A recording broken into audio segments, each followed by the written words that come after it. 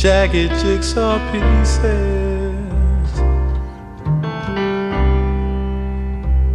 tossed about the room.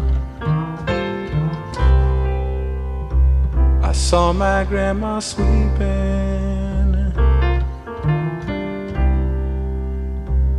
with her old straw broom. but she didn't know what she was doing. She could hardly understand.